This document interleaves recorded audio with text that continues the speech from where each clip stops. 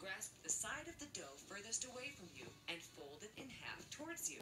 Place the heels of both hands on top of the dough and again use your body weight to push the dough into itself. You might have to add a bit of flour until the dough is easier to work with, but don't over